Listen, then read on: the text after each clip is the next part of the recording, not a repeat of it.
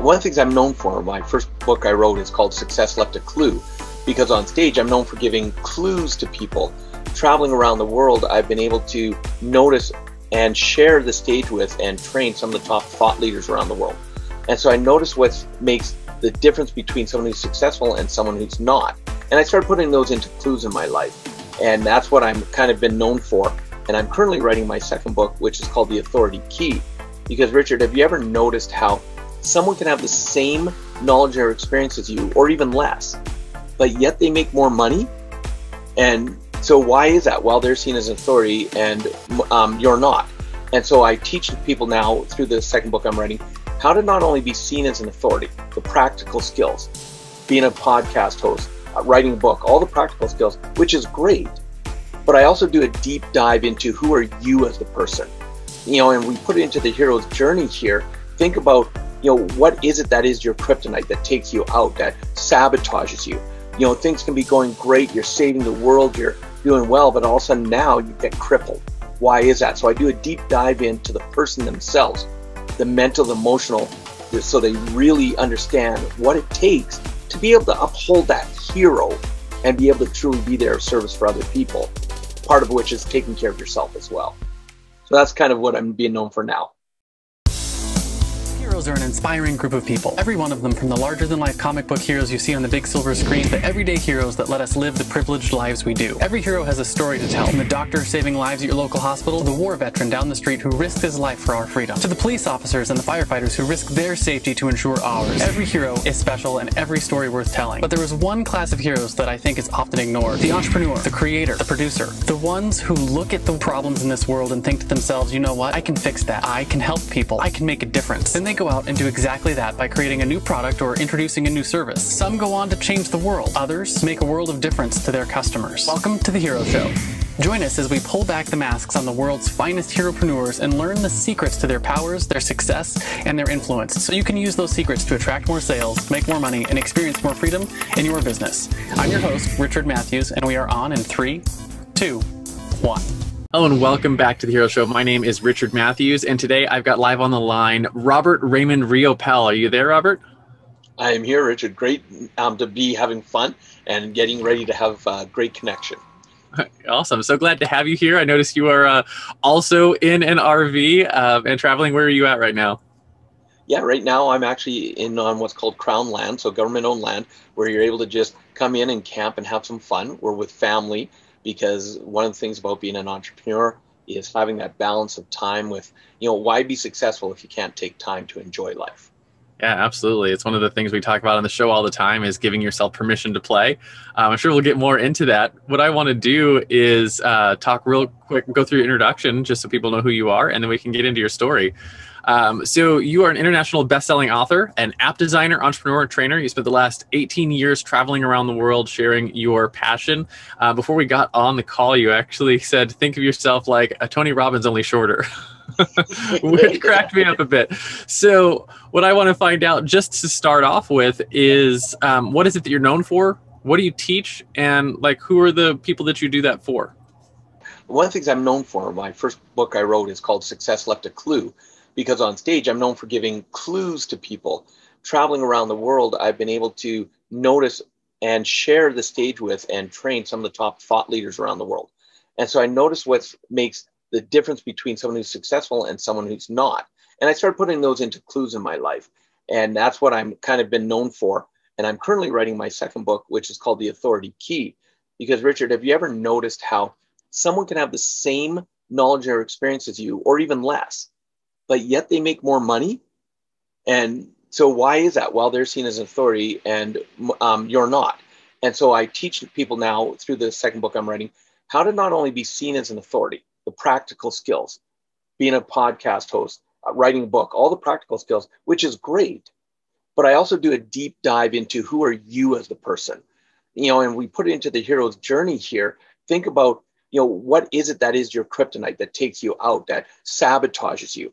You know things can be going great you're saving the world you're doing well but all of a sudden now you get crippled why is that so i do a deep dive into the person themselves the mental the emotional so they really understand what it takes to be able to uphold that hero and be able to truly be there of service for other people part of which is taking care of yourself as well. So that's kind of what I'm being known for now. Oh, and you're still on mute. And I muted myself, uh, which is, you know, it's it's good practice when you're in an RV and traveling with the podcasts. But yeah, so so you got you do the speaking, you do the author stuff. Do you also do like one-on-one coaching or training? I know you mentioned you spoke on stage a lot before the pandemic. You've gone through some transformations with your business. Yeah, one of my passions because I've been blessed to train thousands of trainers in accelerated learning, experiential learning, and I have mentoring students that I bring on every year. And so now I will be working a lot with them one-on-one. Where instead of me traveling around the world to them, they'll travel to my home where I have a new uh, training facility that we've just finishing the construction on, and I'll be able to put them on the stage in front of a camera and have them train and then say stop, you know, turn this way, lift your head, put a pause in there, and I'll be able to work on them as a person to make them more authentic and more present. Get them out of their head, Richard, and get them into their heart. So in they're connected with their audience, whether it's one on one or one on many virtual or live events, they'll be able to be in their true power so that they can really move people.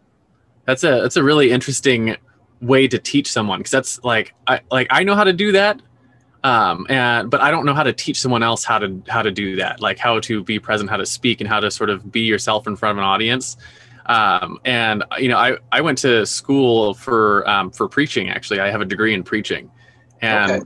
my my preaching professor in college he used to uh he used to tell me he, he's still upset to this day that i didn't go into preaching he's like you know he's like in the 50 years i've been teaching i haven't had a lot of people who had like the natural skill set that you have so like I understand that, but I don't really understand how to teach it to other people. So it's interesting that like that's your skill set is teaching other people how to get up and be themselves and speak in front of an audience.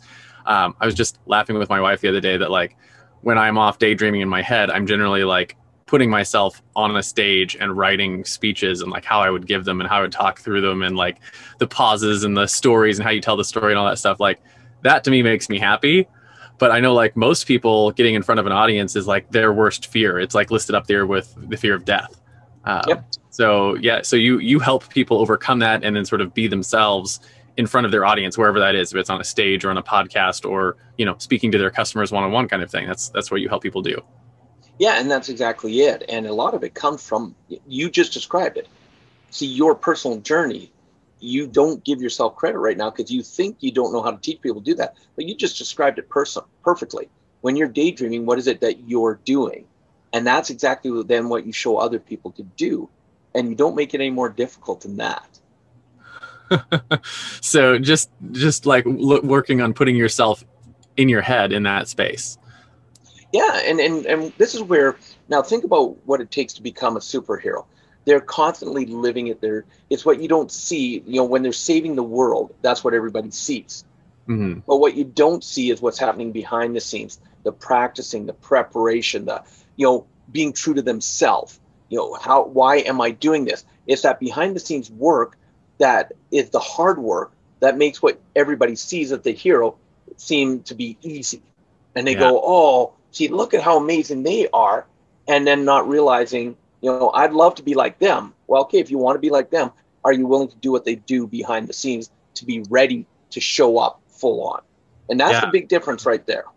And that's like to, to just bring that right into the superhero movies. Every superhero movie has that like hero montage, right? Where they have to go through the they have to do the training. Like when my kids were just watching uh, the old Hercules movie from Disney the other day, and you know that they got the 20 minute scene where he's being trained by the little goat, um, yep. and he has to work really hard to get to the point where then he can go fight the monster. And when he fights the monster, everyone knows who he is and he's famous, and they're like, "Oh, you killed the monster and everything." But you know, they didn't see the crowd didn't see the years of effort he put in to get to you know to become Hercules. exactly, right. exactly. And then let's go even further back to the original Schwarzenegger Conan, the Barbarian. Yeah. the years of pushing that wheel where you know as a slave and he's pushing it and he starts off young and then as getting older he's less and less people are pushing it with him and he's becoming bigger and bulkier and stronger until he's doing it all on his own. That was his building up to be who he was to then become the hero he was. Yeah yeah. And i know one of the things that always is a is a pet peeve of mine is in the entrepreneur space when you see someone become successful you, you'll see all the people around them be like, oh, they've been an overnight success. I'm like, they're not. They're not an overnight success. It takes a lifetime to have that overnight success moment. That's it. 20 years, uh, um, 20 year overnight success. And, Yeah. and you know, uh, have you heard, do you know who Psy is? The singer Psy? Um, yeah, the that's the one that she sang at like the last Apple event, right? The one that's got like the uh, she wears Oh, the no, weird- no. Oh, that's, no, what's her name? That's, uh, no, the Psy is the one that did Gangnam Style. Oh, okay, yeah. So Psy, that's Sia. We're they're very close. That's, that's right. her name's Sia and she can't, you can't see her, but, um, yeah, you can Psy, see her. yeah. yeah when, you- when people look at the song Gangnam Style and they go, oh, one hit wonder, overnight success. But one of the things I love to do, and I encourage all my audience, is I love biographies. I Mhm. want to know the journey.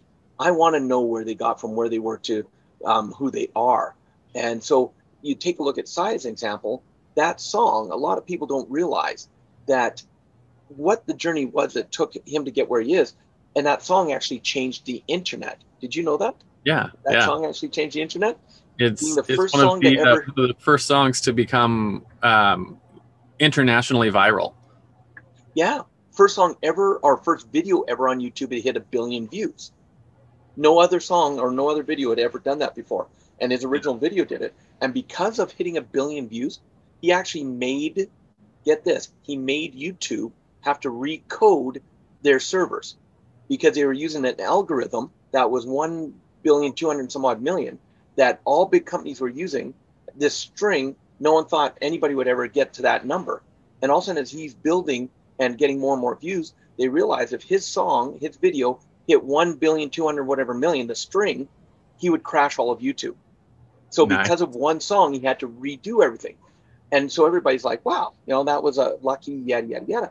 But if you look back at his journey, he was sent to school from uh, Korea to the US to learn to be a doctor or lawyer. Some of his parents wanted him to be. He had the courage, and a hero needs courage. We know that. He had the courage to say, This is not what I want to do. I want to follow my own dream. And he dropped out of school. And because he did, his parents got upset. They made him come back home because they weren't going to pay for him to be in the US. And he wanted to be an entertainer. And for 12 years, he started to, you know, he put the work in in Korea, started getting to be known a little bit, got married, had twin daughters, and kept putting the work in. So all of a sudden one day he came up with this idea for this song. And even the horsey move, what's known for, where he's doing that little dance Yeah. on the screen in the video, that's called the horsey move. He wanted to model a move after an animal. He went through 50 animals of what would they look like moving until they came up with the horsey move. And so all that work is what then allowed it to go viral. But yet, what do people look at? They go, "Oh, you had it easy," or "You were just lucky," or you know what, you were in the right place. No, he put the work in. That's Yeah, how he's able to become effort. hero. Absolutely. Awesome. So, what I want to talk about then is your origin story, right? Every hero has an origin story. It's the thing that made them into the hero they are today. Um, and we want to hear that story. Were you born a hero? Were you bit by a radioactive spider that made you want to get into uh, the teaching and speaking and authorship? Um, or did you start in a job and eventually move over into becoming an entrepreneur? Basically, where did you come from? Yeah, you know, I, I had the, the kind of dichotomy of my parents were always saying as I grew up, Robert, you could do anything you want to put your mind to, and you can accomplish anything you want. But on the other side, what's watching them model is that my parents, that one of their big beliefs is you do whatever you need to do to support your family, even if you don't like the job. So even Yeah. though they were saying I could do whatever I wanted, I watched them and our family move from town to town, city to city, never staying in any one place because to keep working and supporting the family, they're taking on different jobs because the economy was not good. And so I had this, you know, struggle inside of me, this dichotomy. And so when I started working though, I did what I was taught. I started working hard. And if they were, the company was any kind of good pay and it looked like it'd be a secure job, even if I hated it, I did that to take care of my family.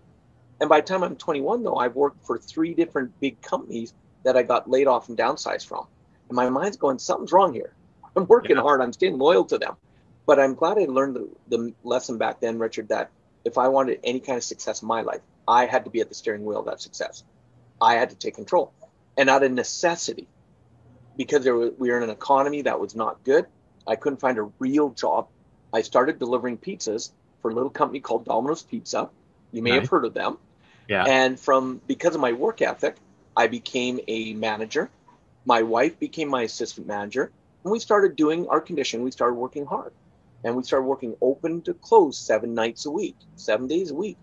And a year and a half in, all of a sudden we got the news from our franchisee that he was selling his stores. He had two stores. He was selling them, getting out of Domino's Pizza. We started kind of, I got worried because it was like, here we go again. We knew the first people laid off when a new owner came in, they laid off the managers and brought in their own management team. And so in my mind, it was like, now I'm about to get laid off again. We have to go find a new job because both of us are working here. Yeah. And my wife's like, well, why would we do that? And I'm like, what do you mean? She goes, why don't we just buy the store? We're qualified to be franchisees. And I'm like, because we don't have any money. That's why we want, you know. And and I, um, I'll tell you, one of the part of my origin story that has made me who I am today is I have an amazing, amazing wife. We met when we were 13. We started dating when we were 16. We got married when we were 19 and we just celebrated our 32nd wedding anniversary. And Richard, don't do the math. Awesome. Don't figure out how old I am, okay? and, and because of her tenacity of not thinking inside the box, I was taught you stay inside the box, don't think outside of it. But she's like, no, let's find out how we can do this. And so we started learning and making a lot of mistakes, a lot of stumbles. But we learned something from each time and we learned, started to learn what to say, what not to, until we now had the confidence that we were actually able to go to our bank. We knew what to say, what not to, and because of having a great relationship with our bank manager, she introduced us to the business manager, and we ended up getting not the funding for the store that we were working in that we wanted to buy. We actually got 100% financing for both the stores my franchisee had for sale, and we got became franchisees. And now it was almost like that. Oh, we're franchisees. We're you know we we're successful we knew how to run a, a, a, store, but we didn't know how to run a business. Yeah. And there's a big difference. And in the first couple of years, we went through a lot of struggles, but we learned. My, my whole mindset was if there's money in the bank, we must be doing okay. and that was kind of the success factor. But when we finally got things caught up and figured out, no, we weren't doing very well because we weren't taking care of, we thought we could do the accounting on our own. We, we thought we had to do everything ourselves. But as we learned and we stumbled through, we started to get some success. We got it figured out. We started running the businesses. And as we got more success, our spending habits got more excessive as well. And by the time we were franchisees for eight years, we were over $150,000 in debt and going down quickly. And that was kind of like the Achilles heel because I don't know if you've ever experienced financial stress, but to me, that's one of the biggest stress anybody can go through. And because we were in this space, we, um, you know, we had been introduced to personal development. I remember my brother-in-law, he came up and again, not to date myself, but he said, look what I just got in the mail. These cassette tapes from this guy called Tony Robbins. You got to listen to these. And I'm like, I need to listen to those, right? Because I wasn't open to it. But as we financially got more and more stressed, we were open to going to a three-day personal development training. And we walked in and we learned, first of all, why we we're in debt. It was our spending habits. Where did the programming come from? We learned all about that. More importantly, we learned to take responsibility. Quit putting the blame on others. It was us that was causing the debt. And then third, we learned how to get out of it if we wanted. And when we left that three day weekend, we went, we're putting this into action. And that's what most people, you know, heroes are called action heroes, a lot of them for a reason, because they take action. People yeah. that don't have success don't take the action they, you know, a lot of people left that weekend and went, "Oh, that was a nice weekend. It just changed my life." Um, how? What are you doing with it? Well, it changed my life. Right. But we decided to put it in action, and because we did, we were able to actually go from over $150,000 in debt to actually retired, completely financially free, nine months later at the age of 32. And our minds went, yeah, and our minds went, wow, that worked if this much information gives out result, what would more do? And so for the next two and a half years, we dove in and became students from every master we could. Because I'm a big believer too, Richard. Don't just learn one way. Don't just learn from one person. Learn from as many people as you can. And while we were doing that, I found that my passion, my true power, the reason I'm here on this planet is to help educate other people. Because I believed if I could even help, and here's how my dream started. And, and if your audience gets nothing else, I want them to really understand this change can start with one person. See, it wasn't, I want to travel all around the world and I want to empower hundreds of thousands of lives. It was, if I could help one person do what my wife and I did, go from being deep in debt to being retired financially free, it would make it all worthwhile. And from that journey over 18 and a half years ago, all of a sudden I've now been blessed to travel around the world several times, personally train over half a thousand, half a million people um, around the world, and then it, which impacts even more, more, and just doing and living my passion. So that's kind of what's been the journey that I've gone through. That's an incredible story. You know, everything from getting, you know, meeting your wife at 13 to going through corporate to running a running a store and buying the store and going in debt and learning how to actually take that business and turn it into financial freedom. That's a pretty incredible story. And that's like that's that you get to financial freedom by like my age now, right? You know, a couple years earlier than I am, and then you've spent the last 18 years um, building an entirely new career in the training space, which is incredible. So you've you've done the done the success journey more than once. Um, yes. so just out of curiosity, do you do you see the same sort of like struggle arc the second time around that you did the first time? Oh, always. I, I actually, um, you know, part of the things I teach is something called the four phases of life, which is, and I love that you said an arc because um, when I talk about the four phases, we actually, and, and I'm drawing for people who are listening, it, it go has the up, has the down, and it has the back up because that's how everything in the universe is. It's energy, so it's traveling yeah. in frequencies and vibrations. And what people don't realize is no matter where you at, are at in your life, you're going through these four phases continuously. And most people resist them, and that's why they struggle. But if they actually learn to understand them and embrace them, that's when they can have um, more ease. Even when times are going through what's called chaos, they can actually embrace the chaos knowing it's meant to help them evolve to being a greater person. And if they embrace it instead of resisting it, they'll get through it easier and they'll be able to then grow even more. So yeah, absolutely, yeah. One, always going through those arcs. One of the things that I always think about is, you know, we we talk a lot about the climb up, right? Yeah. And a lot, not a lot of people talk about the other side, which is is going mm-hmm. down. And I always think, you know, you have to learn to climb up, but you also have to learn how to fly on the way down. Absolutely. Right? And absolutely um, and you know because there there's always going to be struggles. There's always going to be things that are hard. Um, i have a, a, a travel channel because you know we travel full time um, and one of the things that i have in our intro video is is uh, talking about um, the texture and contrast of life right? Mm. and it's you know the the high highs that you come that you get to have when you're traveling like we do with our kids and family where you know we've done everything from um, jumping off of waterfalls in Yosemite to standing on the side of the road in the desert with our coach dead and wondering what how we're going to get to the next spot because there's no cell service and no people and crying on the side of the road right? We've been in both of those places. Um, and it's part of what makes life interesting and fun is that texture and contrast right? A lot of people again for people who are drawing is, is they try to keep themselves in the median. Um, and life's just no fun there right? No, and no. It's, it's when you have the big the big swings all the way across, whether it's you know the financial struggles or the financial successes or your business or your travels or you know your kids, any of that stuff. It's the the it's everything in between that like that that makes life fun and worth living. Um, and you know it, it to, to I guess sort of tie it together. It's that whole um, trying to resist the bad parts or resist the things that you don't think are um, are worthwhile i guess is you're missing out on on some of the best parts of life.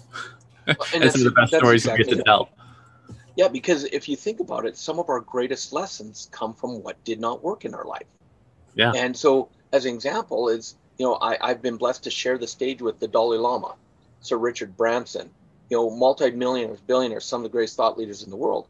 But because I was overliving my passion at one point, I also ended up in going through two back surgeries and being laid up in bed, not being able to move because I didn't take care of me.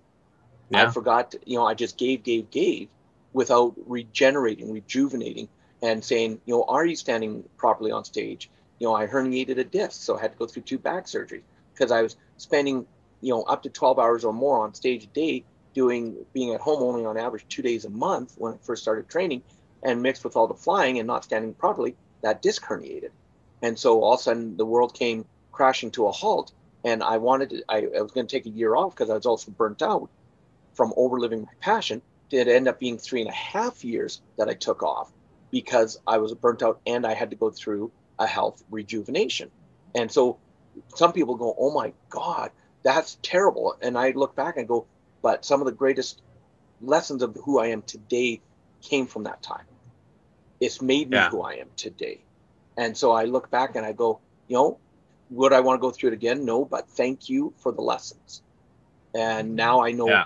you know, now I know to um, have more balance in, and, and I want to be clear, Richard, when I'm talking balance, I'm not talking everything perfect, like, ooh, look, it's everything's always changing. To me, balance is the adjustments you make, the adjustments. Yeah. So I went from doing 40 to 50 trainings a year, not having breaks, to when I came to then doing not my passion at all for three and a half years, which was not as you know, bad as well because now I started going into old negative thoughts, old negative habits.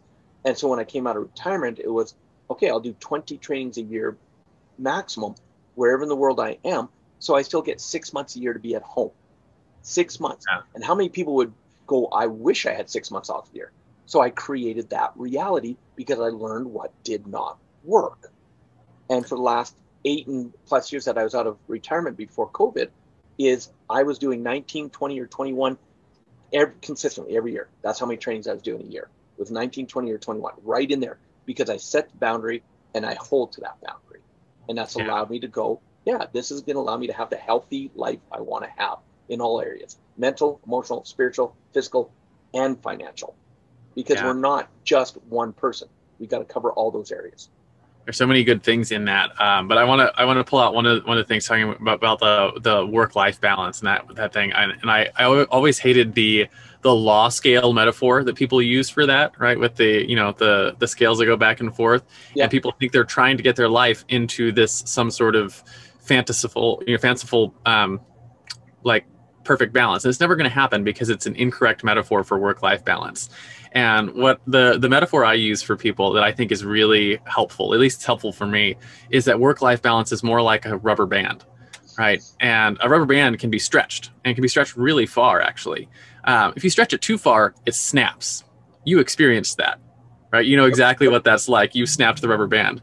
Um, but if you look at the way a rubber band works, um, if you want to rocket it forward, you have to stretch it right? You have to put in the work and the effort, and you stretch the rubber band, and then you you have to also let it go in order to move forward.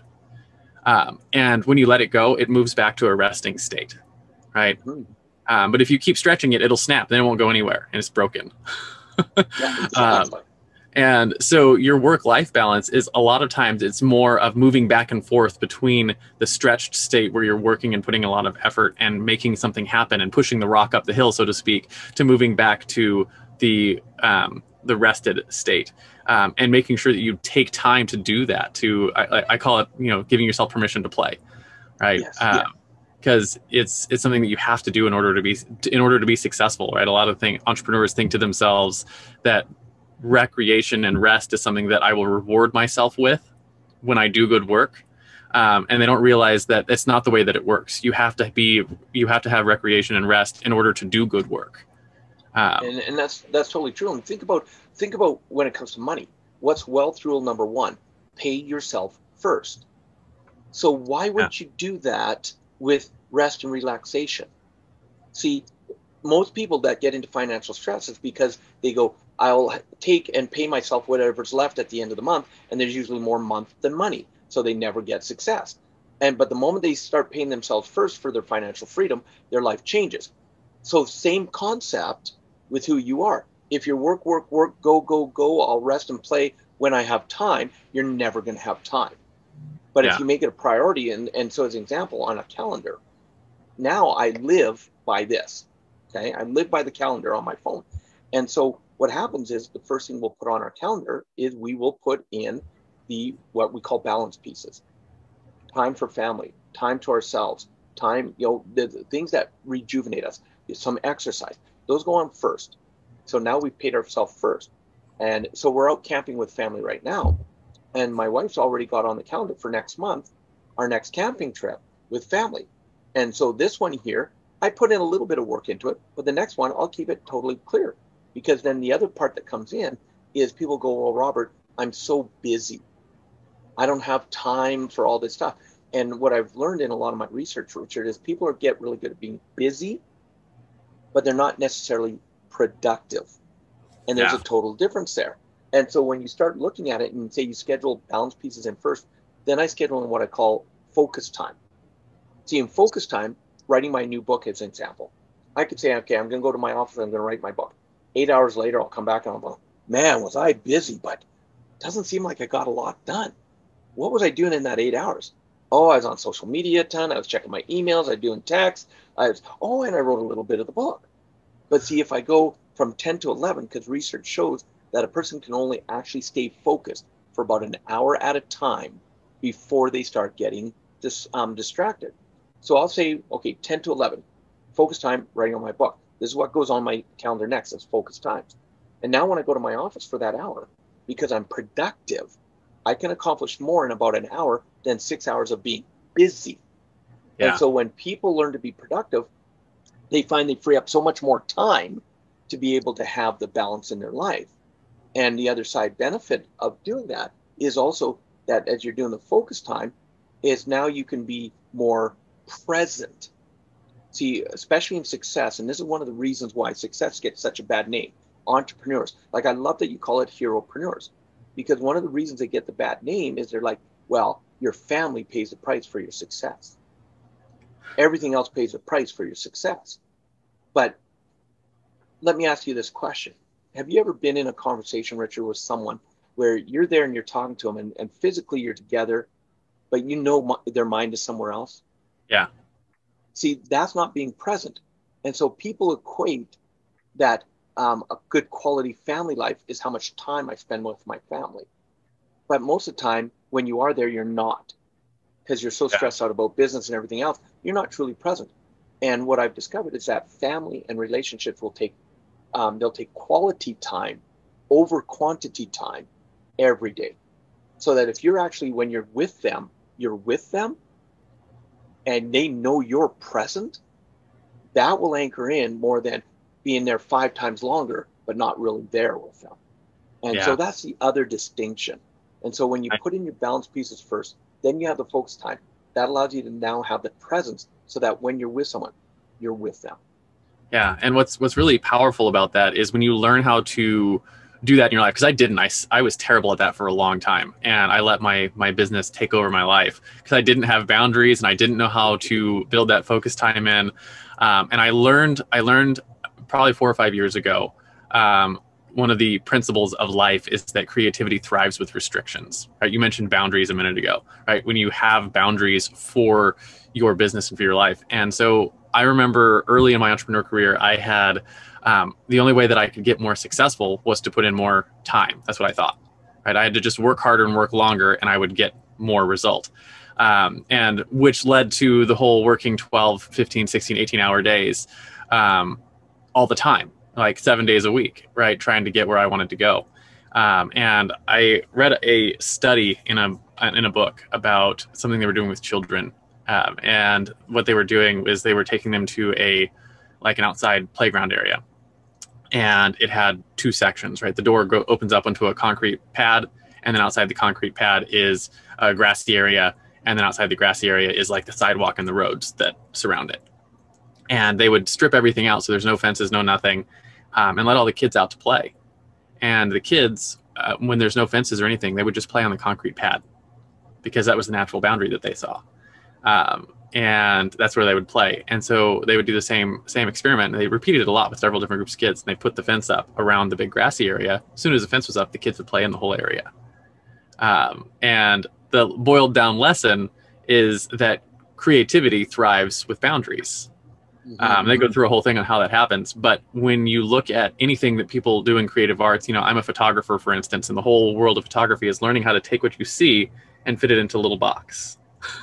right? You have restrictions. That box is your restriction. What are you going to show in that box?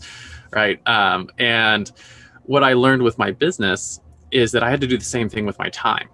Right. And I, so I started experimenting early on um, with what happens if instead of having unlimited time during the day, if I only have eight hours, right? I've got to get everything I need to do in eight hours. And my productivity went through the roof. I got more done. And so I was like, well, if I if it works good like that, what happens if I cut it and instead of eight hours it's six hours and what if it's instead of seven days a week it's five days a week and then what if it's instead of five days a week it's four days a week and then what if instead of it's eight hours it's four hours a day and now um, where i'm at now i run two big businesses from the back of my rv while traveling the world um, on less than four hours a day four days a week. Um, and get more done in in 16 hours than most people get done in 80 90 hours a week with two yep. different organizations. Um, and a lot of that comes with learning how to do exactly what you were just talking about which is manage your calendar and have productive focused time. Yep. And and that's it. And and you just summed it all up perfectly because that's exactly what it is right there and i wish they would teach that in school I wish they would We're teach a lot of things there. in school. yeah, so there's probably there's, squirrel down that road. There's the reason our, our kids are homeschooled because they get to learn a lot of those things firsthand from, you know, like I didn't learn those things, but my kids are getting to learn those things, which means I'm pretty sure my son's going to be more successful than I am, like half the age that I was, which is, I think, a cool thing. Um, but what um, I do want to I do want to bring up the next subject, which is about your superpowers. Mm-hmm. Um, and you know, every iconic hero has a superpower, you know, whether it's a fancy flying suit made by genius intellect or the ability to call down thunder or super strength.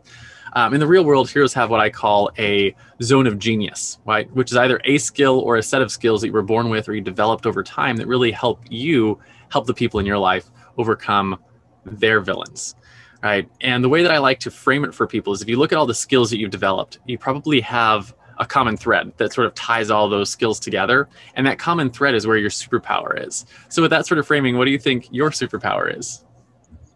I would say it is I'm able to see in people what they're not seeing in themselves, their gift, and then show pulling it out of them and helping them really see it for the first time a lot of time, and then how to own it with confidence, not arrogance. And you know, when I'm talking to someone and all of a sudden something will hit me and I'll tell them about their life, they're like, How did you know that? How did you figure that out? And so I can do a deep dive into people. That's really cool. So I want to I want to pull out the one one of the things you said there was confidence, not arrogance, and I've I've always loved that subject because people mistake confidence for arrogance frequently, and they mistake arrogance for confidence. Okay, they don't they don't understand the difference. And the difference, I think, and I'm I'm curious to see what your your your thoughts are on this, but arrogance is generally masking insecurity of some sort, whether or not it's fear of or not really believing in themselves, um, or actually not having the skill that they're being arrogant about. Right? They don't they don't actually have the skill to back it up. Um, where That's confidence exactly yeah, confidence is the opposite, where you've you've earned the right to stand on the, the on on the top of the hill, right? You've climbed the hill, you've done it, you've been there, you've done that, you've gotten the results, um, and um, and knowing that, right, and being able to present that to someone else and be like, hey, this is the thing I can help you with because I've been there, and that's really the difference. That, and that's exactly it, and and it is a subtle line between the two, and sometimes you do have to cross over, and, and I'll give an example, um, because I've been blessed uh, developed thousands of trainers around the world. And yeah. at one point, you know, I, I was doing a five day training, I remember, and, and, you know, we were talking about this before you hit record. It's the work behind the scenes that you don't see that make a person a hero and make what they do in front, being the hero, look easy. And mm-hmm. I was doing this training, and at the beginning of training, the first day and a half, it's going through the basics, the ugly behind the scenes stuff that, look, if you want to be good, you've got to do this work. And all of a sudden, this one guy, he just gets up out of the audience he's, and he just shouts out, he says, I'm out of here. And right, you know, and I've got 300 students in the audience. I said, What's going on? You know, and he goes, This is just, this is too basic. This is crap. I'm already doing a million dollars a year. I don't need this stuff. And in that moment, I went into a little bit of an arrogance because, you know, I, I and I said to him, I said, Then sit your ass down because I'm doing 15 to 20 million dollars a year so obviously, there's something you don't know that I can teach you. And all of a sudden, he stopped and he looked at me and he sat back down. And at the end of the training, he comes up to me and he's like, Wow, I needed that kick in the ass. He said, Now I see what's been holding me back is because I just think I have all the answers already. And I'm not willing to learn from someone who's maybe got a little more experience and a little more success than I do. and he was just so grateful for it. And that, that's not me to normally go into that kind of a, a zone, but in that moment, it's what was needed. And I, and whether you say my superpower, I read it in him that he needed that kick. In that moment, I snapped over to then because usually I won't sit there and go, "Hey, I do 15 to 20 million dollars a year," blah blah blah, you know. But in that moment, I I owned it. Yeah. And it got him to sit back down. So, Yeah. and that is the difference. Like the confidence, I can be on stage and I've honed my craft. And so I don't have to think about it anymore. I don't sit there and have to think, okay, how do I get the lasers to shoot out of my eyes? Right? I can just sit there and I can turn it on because I've got that confidence in it. And that's the confidence. But you, I love what you said because you hit it so well.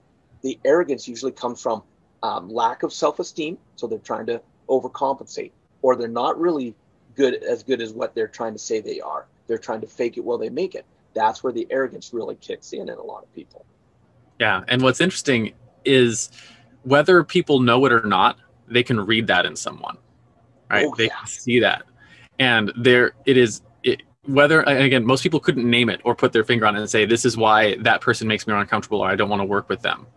Um, but a lot of times it's that line where someone is in the arrogant spot and not in the confident spot because it's it's one of those subconscious trust signals that people give off um, and Yep. it's it's hard to nail but when you when you when you understand it like you you can probably see that in people because of your superpower and where they need to help and what they can do to move from one side to the other And, and it's learning the lessons too. Like when I'm teaching someone to sell from the stage or market from the stage, one of my number one rules is never, ever, ever sell something you don't believe in 100% yourself. Because if you do, then people are going to smell it. They're going to see, they're going to, something in their subconscious is going to be going, there's something off here. And Yeah. you could be the, you could be the greatest, slickest salesperson in the world. But if you're just trying to sell something because you want to make a sale, they're going to sense it and that's so I'll, that's why that's my rule is don't sell something unless you believe in it 100% because then if you do they're going to get that as well they're going to get Yeah. wow they really they actually believe in this product themselves that's awesome and and it's all the little subconscious triggers that are going off in people's minds actually one of the things I'm working on with my son right now because he keeps wanting to start a business, and he's got all these product ideas that he's coming to me with, with like like little craft things that he wants to make and other stuff.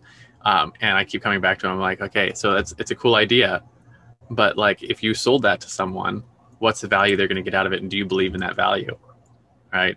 Um, and and so anyways, we we've got a whole stuff we're working on in that in that area, but that's a it's an important lesson. yeah absolutely absolutely So my next question then is the flip side of your superpower, which is of course the fatal flaw, right? Just like every Superman has their kryptonite or Wonder Woman can't remove her bracelets of victory without going mad, you probably have something that's held you back in your business, something that you struggled with. For me, it was a lot of things, right? I mentioned already I struggled with the lack of self-care, which is, you know, not having set boundaries and letting my clients walk all over me and letting my time walk all over me. Um, or one of the other ones I struggled with for a long time was perfectionism. Where I was like, I got, I could just tweak it, make it a little bit better, and then you never bring anything to market, which means it's not perfect because it's not existing. so it's a very low standard to hold yourself to, um, is perfection. And so, anyways, I struggled with both of those things for a long time. But I think more than what is the struggle is how have you worked to overcome it so that people in our audience could learn a little from you. I would say self doubt has been what's held me back, and and that's um, and the way I've combated it, surrounding myself with amazing people, and you know, is a gift now I give to my students, especially that are beginning as a trainer. I'll say, let me be your greatest supporter, your greatest cheerleader, until you have the confidence in yourself to own it. Because Yeah. you know, I, I've gone through the struggles, and I know how. Like even when I took the three and a half years off, I was getting ready to do my first training out of retirement. And my wife noticed something's wrong and she's like, What's going on? And I'm like, Nothing. And she's like, Bull, what's going on? I said, Well, what if I don't have it anymore? And she's like, Pardon me? I said, What if I don't know how to train anymore? It's been uh, three and a half years since I've been on stage. And she looks at me, she goes, Are you done with that crap?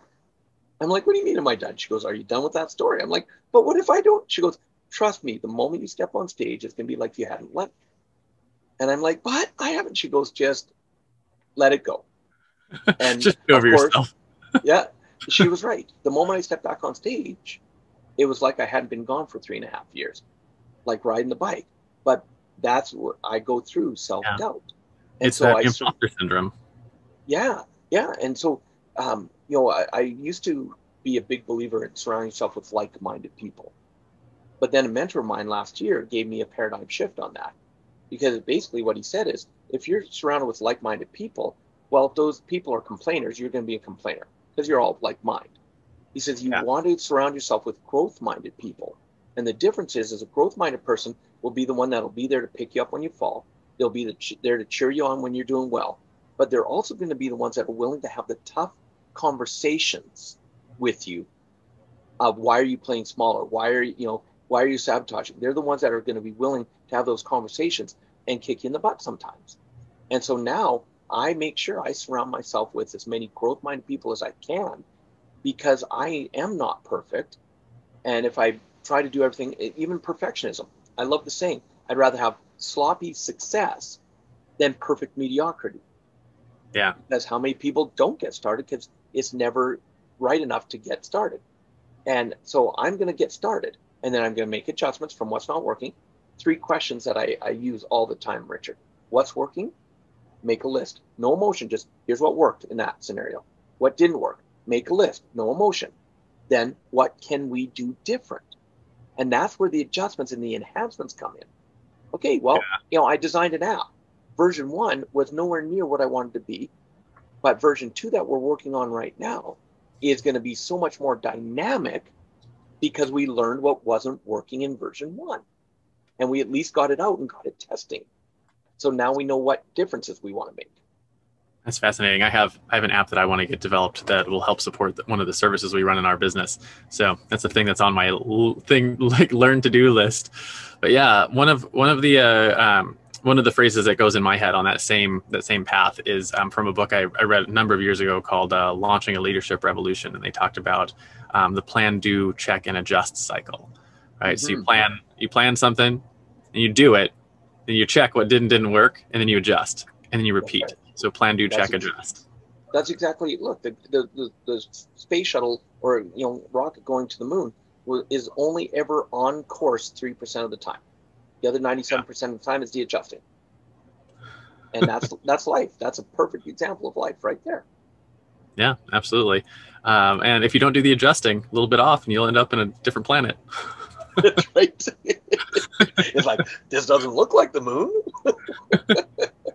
uh, so I want to flip flip and talk about something different then, which is your common enemy. Right. So every superhero has a common enemy. It's a thing that they fight against in their world. Right. And in the world of business, it takes on a lot of you know in a lot of different forms. But I like to put it in the context of your clients, the ones that hire you to come in and help them, right? Whether that's on stage or picking up your books or coming actually to your your new facility and working with you one on one. It's a mindset or it's a flaw that they struggle with that you're constantly having to help them fight to overcome. That if you had your magic wand and as soon as they signed on the dotted line, you could just bop them on the head and that would be solved. What is that common enemy that you have to fight against in your business? procrastination. Think of any business owner, especially when you're self-employed. You're not actually an entrepreneur; you're a solopreneur, yeah. and it's e- so easy now when you're managing your own time to. And, and this is coming from, and I will tell you, I since the Olympics is going on while we're recording this, I am a gold medal procrastinator. I am. so I'm coming from the experience of this. I've been on that podium so many times getting that gold medal in procrastination. And what I realized is instead of fighting it, because what you resist will persist, instead of beating myself up for being a procrastinator, it's like, you know what? Okay, I know I am. So how can I work with it? And so a quote I came up with a few months ago is I design my day in such a way that procrastination cannot play. And what that simply means is I will make sure because anytime I make a commitment to someone else, I will keep it. So I will make my phone calls, meetings, interviews early in the morning, trainings early in the morning. So I have to get up because if I don't, I'm also a snooze button ninja. I have got snooze, like you talk about stealthy. It's like that snooze button goes off. It doesn't even know where it came from that I've got it turned off. I'm so quick. So if I give myself, if I, something's not scheduled, then I'll sleep in and I give myself, for you know, and then I'll hit the button and hit again. And have you ever noticed? I, I don't know if you've ever noticed this, Richard, but the nine minutes. So on my alarm, I've got nine minutes if I hit snooze. The nine minutes between the alarm going off tends to be some of the best sleep you get of the whole night. Yeah. Have you ever known, right?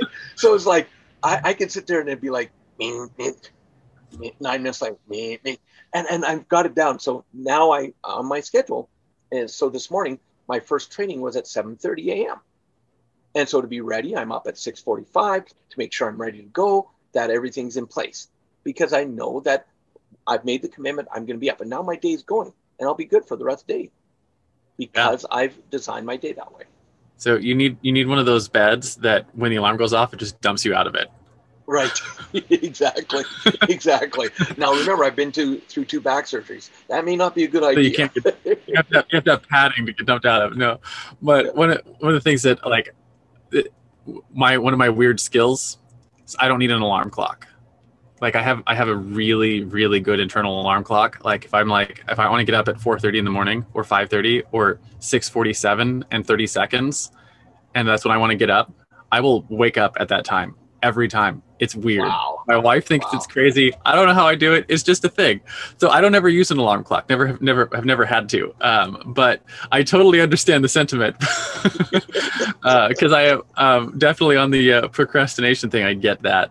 Um, and one of um, the thing that really struck sticks out to me is like what what I call what you're doing is setting up psychological barriers or encouragements to success right? Yes, so as yeah. an example, one of the things that I do is like I have I have a water flosser that I use to floss my teeth.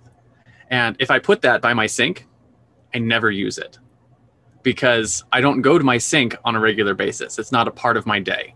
But if I take it and I move it three feet to the right and I stick it in my shower, I use yep, it every day because right. I shower every day. right. And so it's a psychological encouragement to success, right? You're setting your life up that way. Right. And, you know, I, one of my businesses is called Push Button Podcasts, and it's a podcasting agency. Um, and one of the things I'm actually doing a training on right now is how to set up your studio like this, right? Have a little studio set up. And the reason I teach that to business owners who want to do podcasting is because if you have a simple, easy studio that makes you look good and sound good, that's a psychological encouragement to success. You're going to sit down and you're going to record more often if it's easy to do, right? If you know how to set it up and it's it's in the place, right? And it, as opposed to I don't know how I'm going to record, I'm not sure how I'm going to sound like, I don't know what it's going to look like. All of those are psychological barriers to yes. action. So you want to set your life up, and whatever it is, right? Whether it's a studio or putting your water flosser in the right place or making sure your appointments are at the beginning of the day, that you have those psychological encouragements to good action and those psychological barriers to bad action.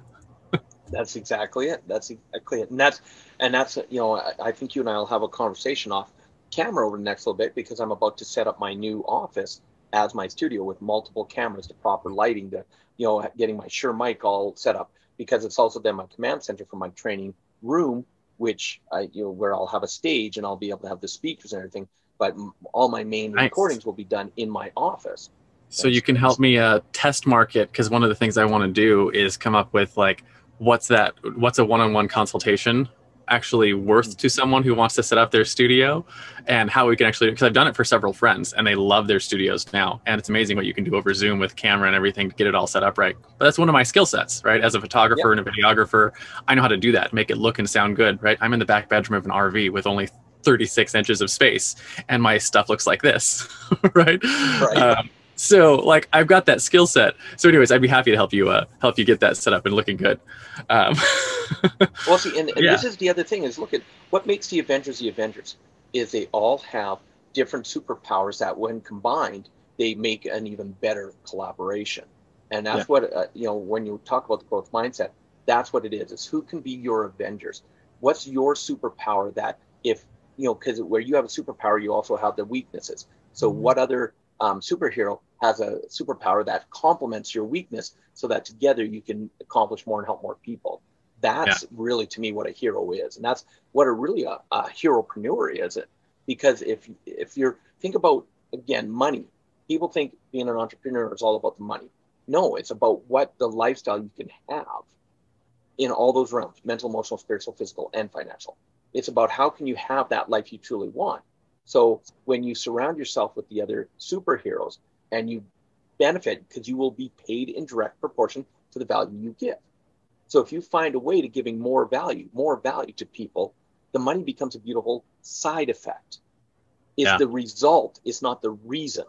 And then that's what you talk about a fulfilling life. You talk about the superhero being able to have long term. Why, you know, does someone like a Superman last for decades versus a superhero that, you know, burns out very quickly?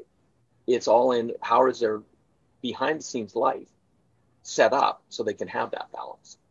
Yeah, absolutely. And I know, like one of the things, uh, one of the lessons I work on with my son all the time, we we do little encouragements um, all the time. Where we're out living is the whole you get paid in direct proportion to the value you provide. Um, is I will point people out when we're every wherever we're at and have him tell me what's the value he's providing to society. Right Nice. Sign twirler on the side of the road, the waitress at the store, the person who, you know, when we went to New Jersey and they pumped the gas for you. And I have him walk through what the value he provi- that person is providing to society and then what the scale is, right? And then we start backing it out. Um, we're like, okay, so if it's the the the waitress at the restaurant, what's the value they're providing? Okay, and then what's the manager and the value that they're providing? And then what about the restaurant owner? Who and what they're providing. And what if they have more than one restaurant? And how much value are they providing there? And we back that out to, so that he can see the scale of value that happens. Um, and then how that impacts the the value that they're going to get back in return for that. And it's one of those things like it took me forever to see that myself. So i work a lot with my kids on hope, helping them see that because it's an invisible it's an invisible thing.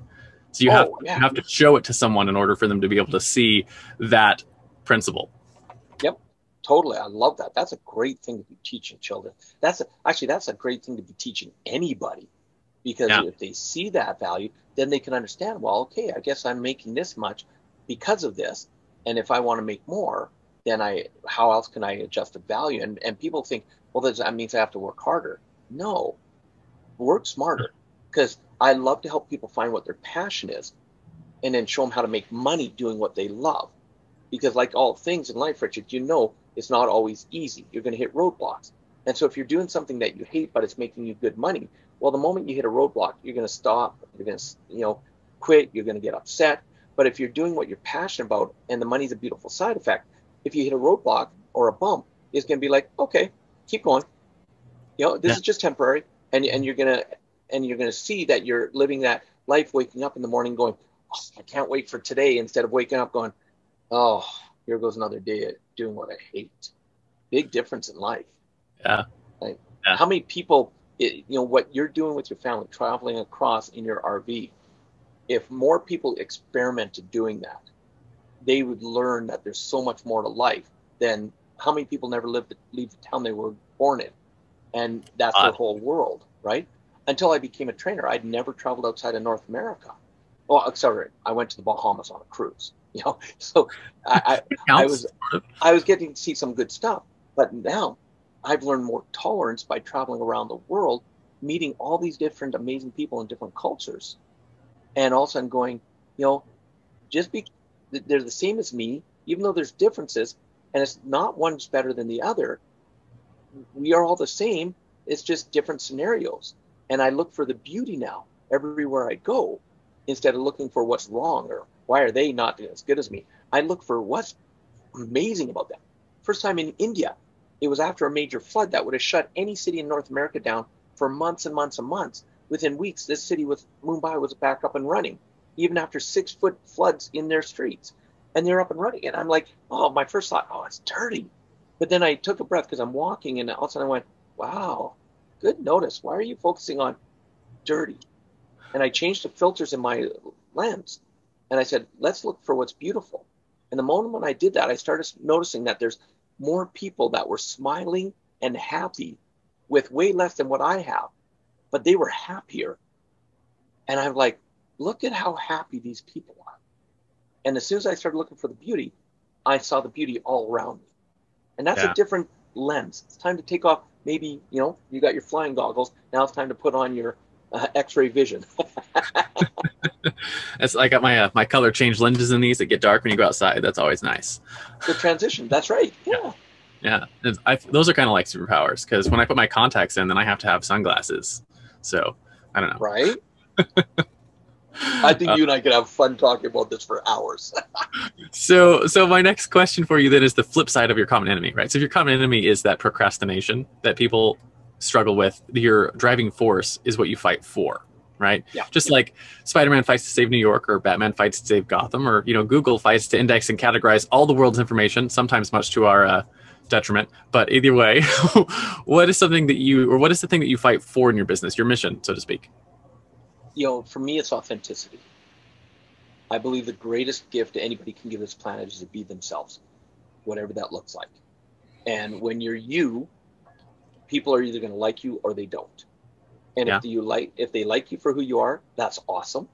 If they don't, that's awesome, because you know there's like what eight billion people on this planet, and I look at how. Like well, yeah, and and I come from you know the world of being a people pleaser of I look back at how much time and energy I put into trying to make people like me.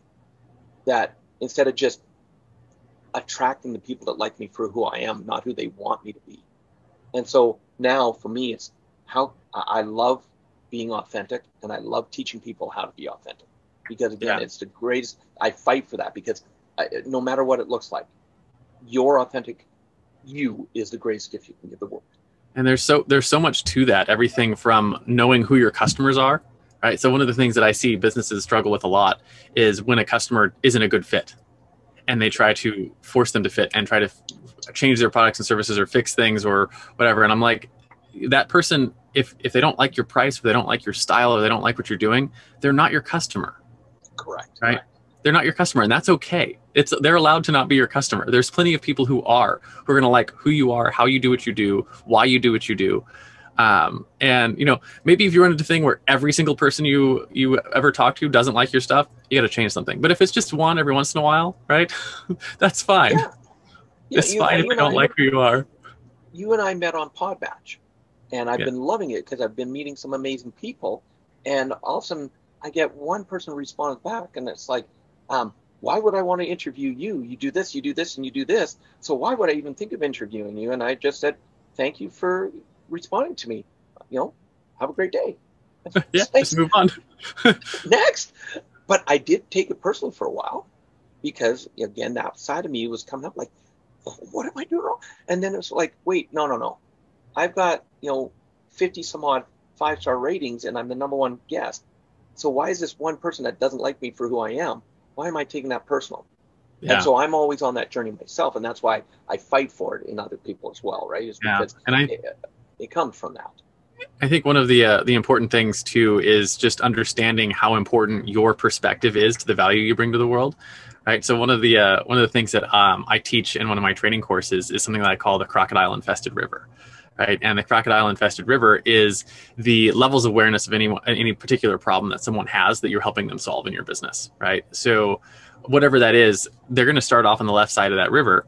Um, and on the other side of the river is the promised land. Is like life after their problem is solved right? Yeah. um, you know life after the back surgery and your back's recovered and you're back to your normal self again is life in the promised land right? And the crocodile infested river is having to go through and actually change your life to fix the problem right? It's the actual you know and all the struggles and everything that goes along with it. Um, and what i tell people is in your business you are the person who comes along with a boat right and that boat is your product or service whatever that is that you help people with and your boat's got cool shit on it right it's got crocodile um, disintegrating lasers and you know it's got you know stuff to navigate the whirlpools and all that other fun stuff but the most important part of the boat is that it comes with you as the captain Yes. Right? Because yes. you've been there. You've been across this crocodile infested river. You know where they are. You know where the pitfalls and downfalls are, and you can help someone through that because you have the life experience, the story that goes along with with whatever it is that you're doing. And I think people miss that in their business is how important their perspective and their value is to, to, to what they're doing. Well, and that's the second, like in my book, Success Left a Clue, I outline six steps to create the life of your dreams. And the second step is find a mentor, find someone to model because that that captain of that boat is the person who has the experience. And so if someone's new trying to do on that business and try to get people across the river, as an example, they can have the greatest technology, but if they don't have the knowledge of how to actually navigate it, and use Yeah. all the equipment, they're not going to do well. And, and it's a big gift that most people forget to do. They're like, I got to figure it out on my own. Go- Again, it goes back to that school thing. So, but the moment they go, if I can find a mentor or someone to model that's accomplished, unless you're a Jeff Bezos or a Elon Musk, chances are whatever you want to accomplish, someone's done it before you. So find out how they did it. Find and and you know, but Robert, uh, that mentor, they're no longer alive because I love Napoleon Hill. Uh, I can't be mentored by Napoleon Hill. Sure, you can. Read his books, study his, his courses, look at all the things that he did. And so it's about creativity because if you want to get good at something, find someone who's done it, learn from what worked for them, but again, more importantly, what didn't work so you avoid those mistakes. And by having that mentorship, you're going to get across those crocodile infested waters a lot easier. So I love that. I love that analogy you have. it's my favorite one. I stole it from someone else, and I've modified it a lot. But anyways, crocodile infested river is one of my favorite metaphors for understanding the progress from you know to solve problems essentially. Yep. So I want to talk then a little bit about your hero's tool belt, right? And this is the practical portion of our show, and it's just like you know every superhero has their web slingers or batarangs or um, you know laser eyes, whatever it is, or maybe it's a big magical hammer that you can spin and fly around with. Um, I'm going to talk about the top one or two tools you couldn't live without. Could be your marketing tools, could be product delivery, could be your notepad, your calendar, anything that you think is absolutely essential to getting your job done on a daily basis. Mm, yeah. Well, a new one that just came into that tool belt. I finally, after years, got a virtual assistant. And Genius. oh my goodness, I'm going, why did it take me so long? Because she has just totally taken over all of my social media and does it. And she loves doing it. And she's a master and a whiz at it. And I struggled with it, but I tried to do it right. So, a virtual assistant is one. And, and oh my goodness, just, oh, oh, yeah. Um, the second is one of the clues I give out is write it down. Uh, you know, I can have a I, I when I walk for my back. I love to walk. It, it helps loosen my back up, and I, I get very present. When I'm present, that's when the genius comes in because you're now directly connected, you know, to mm-hmm. to God, to the greatest power of universe, whatever you want to call it, and all of a sudden the inspiration comes through. But have you ever noticed you can all of a sudden say something, someone go, "What did you just say? That was amazing!" And all of a sudden you're like, "I don't know, I can't remember." So it's I write, I, I'm I'm methodical. I have my notepad on my phone or voice message. As soon as something comes up, I don't even think about, oh, I'll write it down later. I just instantly put it in my notes because I know, I know me. I know I won't remember 10 seconds later what the heck it was. And so I, that's another thing in my tool belt is writing it down. Yeah. And then third thing I would say would be loyalty. And loyalty to my um, number one loyalty is loyalty to my own dreams and where I want to go, and what I want to accomplish. Because I've witnessed too many people give up on their dreams and um, too early, like at three feet from gold, book three feet from gold. They stop just before they're about to accomplish what would change their life. So those were would be three things I think that are in my tool belt.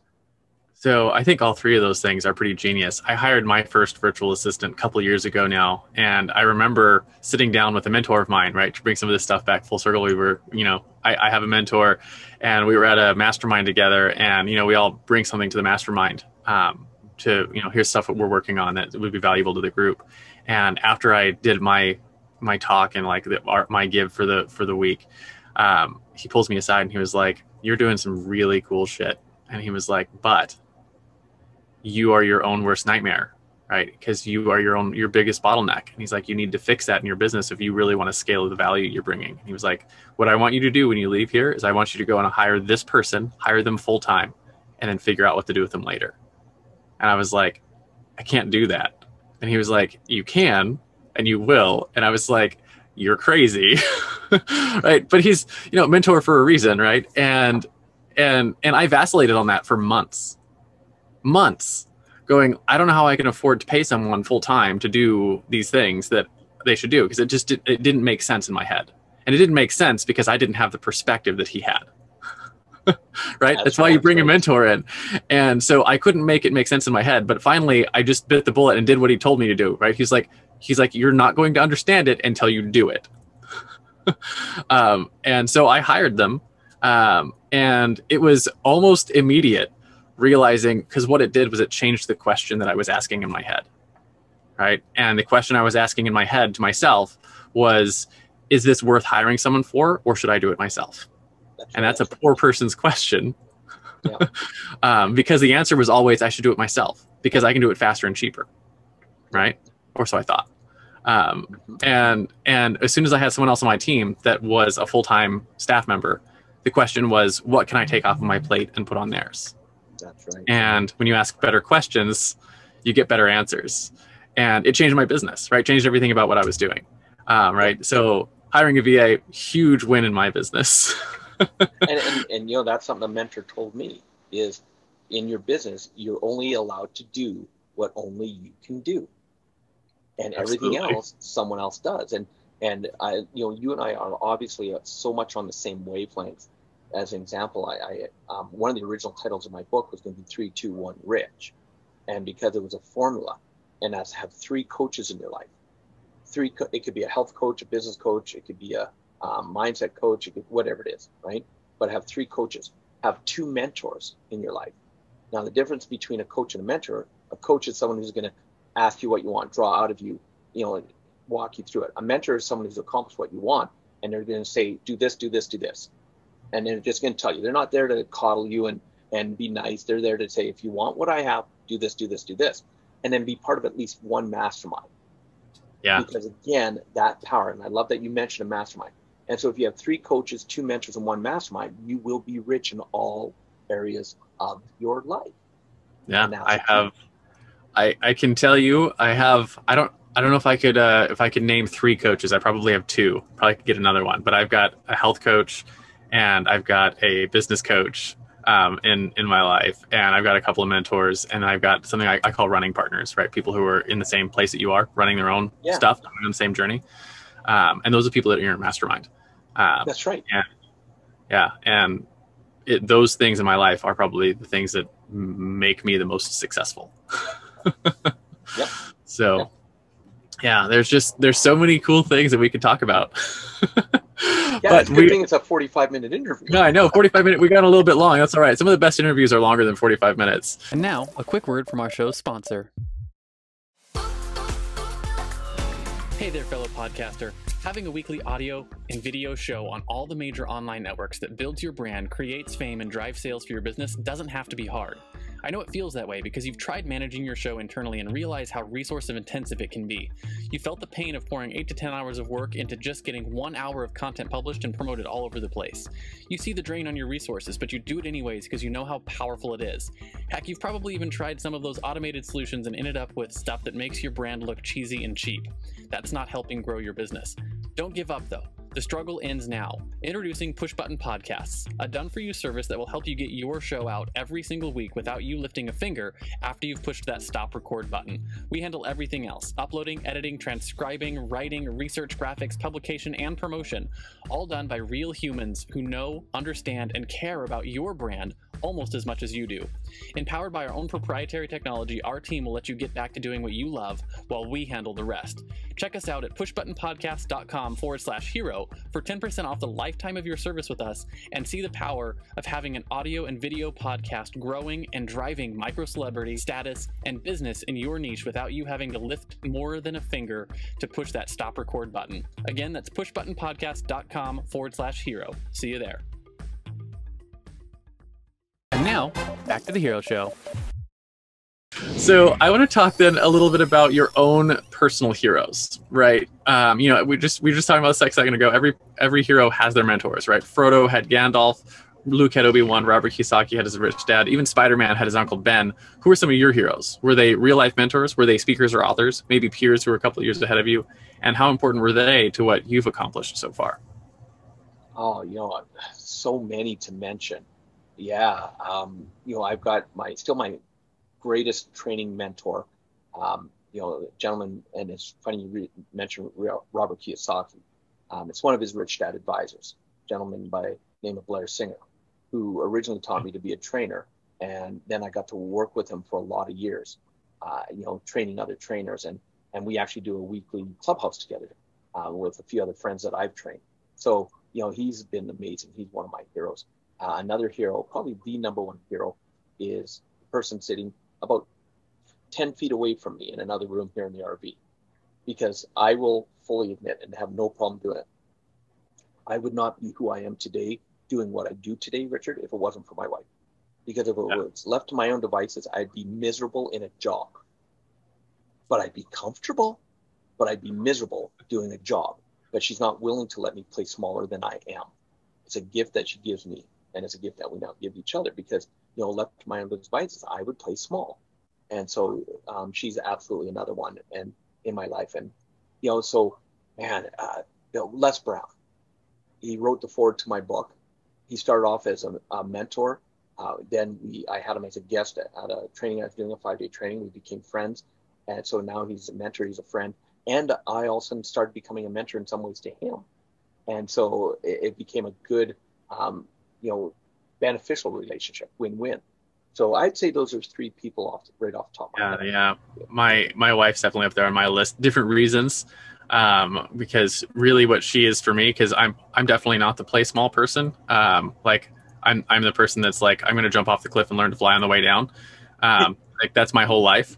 Um, but so what she helps me with is she helps to ground me, um, yes. and she helps to um, she helps to really she enables a lot of the things that I do, right? Because the reason I have the confidence to you know jump off the cliff and learn to fly on the way down is I know that she's got everything else in our life handled. Yep. Um, yep. She's got the kids taken care of. She's got the house taken care of. She's got our life handled. Um, so I can take bigger risks and push harder um, than I would be able to otherwise. So, yep, absolutely, yeah. absolutely. awesome. So, what um, I got one last thing I want to talk about, right? And it's your guiding principles. So, one of the things that makes heroes heroic is that they live by a code. Um, for instance, Batman never kills his enemies. He only ever puts them in Arkham Asylum. So as we wrap up the interview, I'm going to talk about top one, maybe two principles that you live your life by. Uh, well, one we've already said um, loyalty. Actually, both we've already said, and authenticity. Those are the two, you know, because to me, I've, I've experienced way too many, uh, and you see this in all industries, but in the training industry, when I see someone on stage who's one way, but then the moment they step off stage, they totally change. Yeah. And it's like, wow, right? And and one of my mentors had actually said, Robert, never be afraid to meet your students anywhere in the world and have to figure out who to be. Always be you, and be authentic. That way, you never. Have. And I've met my, I've met um, students in so many different places, airports, malls, everywhere around the world, and they're like, "Wow, you are who you say you are." and and it, it comes back to actually I hated the word um, when I first started training, the word guru. I hated that word because you know it's us that puts other people on pedestals and stuff like that. And a student would call me their guru, and I'd you know, and I was doing a training where I was teaching a full-on five-day training. At the same time, I was training six trainers how to train that training. And one of my a really good friend who does a powerful piece of the training, he was actually working with my six trainers and he was going through some stuff with them. And one of the he asked a question one of the students, and the student said, "Well, Robert's my guru." Well, my friend is reads body language, reads facial expressions, all that. And out of the corner of his eye, he saw me kind of cringe and flinch. And he stopped and he said, Robert, what just happened? And I'm like, Aaron, nothing. Just keep going. He goes, No, you just had a reaction when he called you the guru. Why? I'm like, Aaron, it's about them. Just keep going. He goes, No, guys, we're not going any further until Robert starts talking. And they're like, yeah, okay, Robert, right? You put me on the spot. I'm like, I'll get you back. But I said, I hate that word guru. And he goes, why? I said, because I don't, I'm not better than other people. I'm not, you know, this all knowing person. I'm just me. And he had me do something that changed my life. And I'm going to have you do it for me, Richard.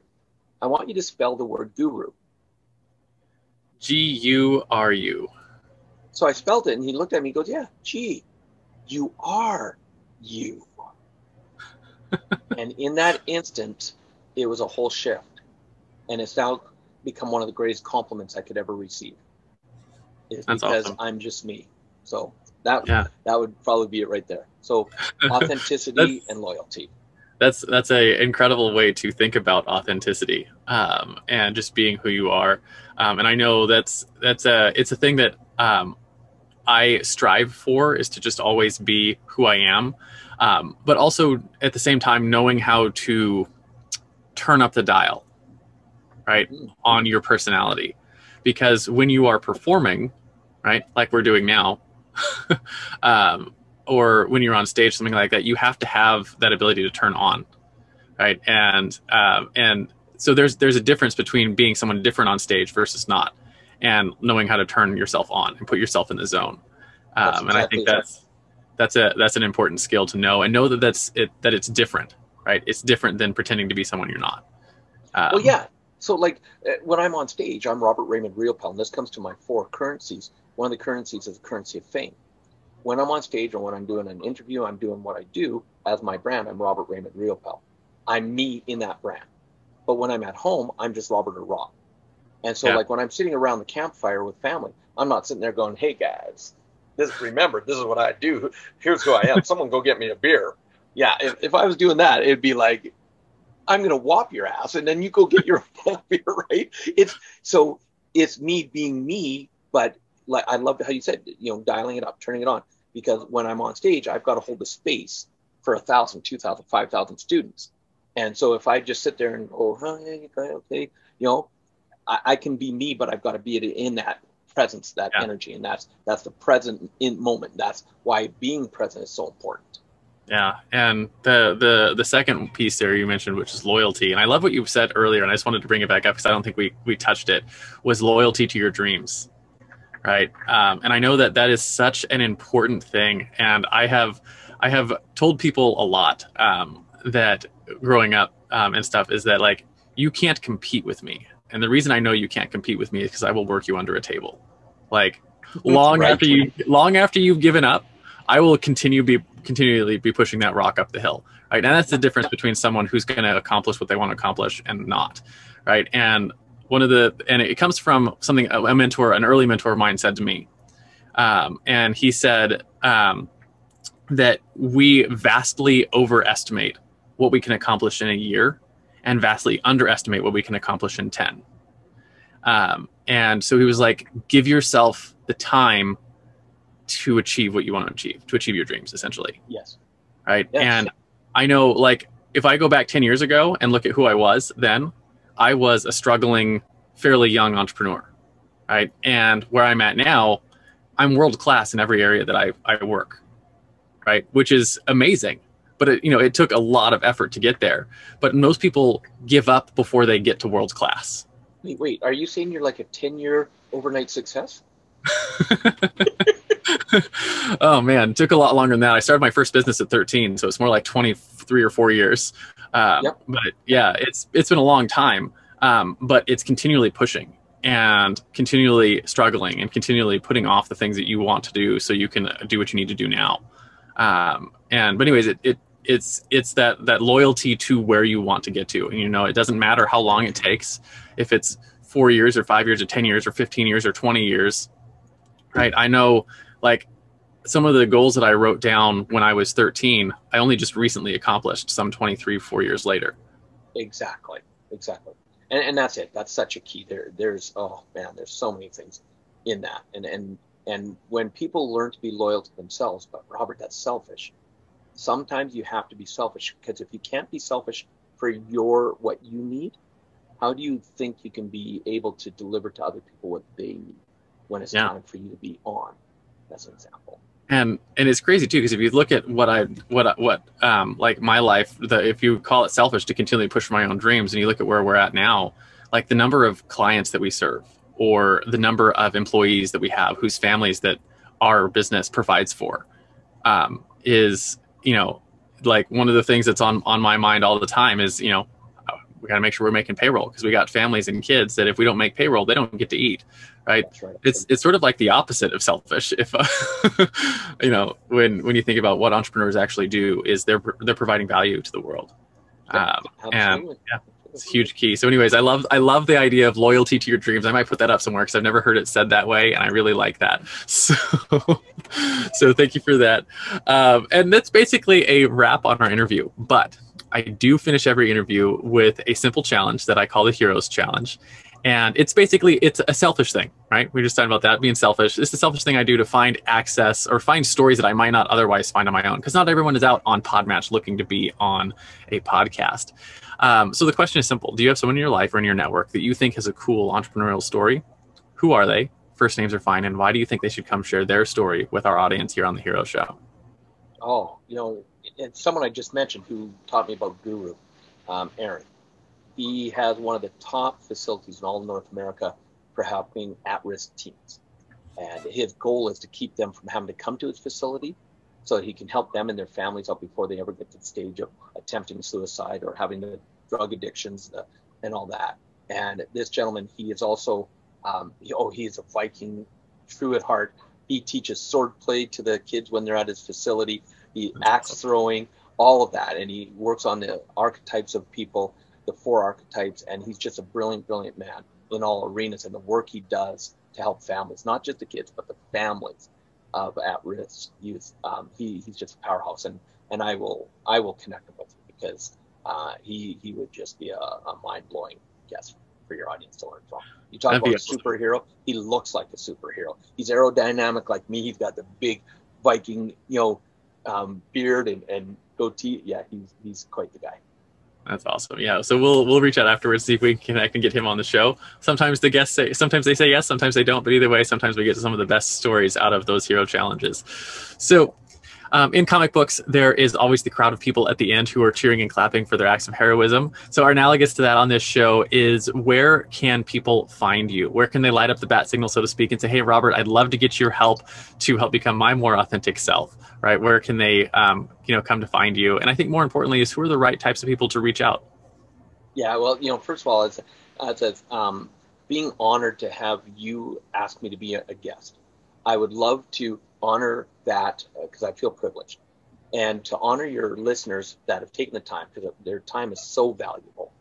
As I would love to, they can find me at just robertriopel.com, my my name.com, so R O B E R T R I O P E L.com, and they can actually what I'd love to do as a gift for from us is they can actually get my book Success Left a Clue, the digital copy as a gift.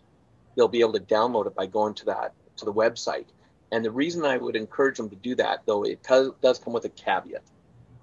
See, I didn't write the book for someone to read and then put on the shelf and make it shelf help. And yeah. that's not why I wrote it. I wrote it as a workbook because the third step is take action. So I have action steps all the way through the book. And what I'll do is actually at the chapter beginning, it'll say, Did you do the last action? If not, stop reading right now, go back and do the action. And so I would love for people to do take the book, put the actions in place because if they do, it will impact their life. Guarantee that. They can also follow me on Facebook. I have a fan page, um, Robert Riopel. Just put my name in, you'll find my fan page. And that way, as I journey around and do the um, trainings I do, they're able to private message me. I actually respond to it. I don't even have a virtual assistant do that.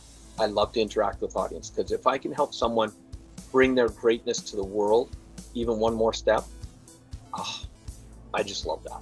I love that. Awesome. So we will make sure that the uh, link to the book and to your website is in the show notes below. So if you're listening to this, you'll be able to find that link um, on our website. Um, and Robert, thank you so much for coming on and sharing your hero's journey and your hero story with us today. Really appreciate that. Do you have any final words of wisdom for our audience before I hit this uh, stop record button? Yeah, just leave it with how I sign every autograph in every book. Always live with passion. Absolutely. Thank you very much for coming on today, Robert.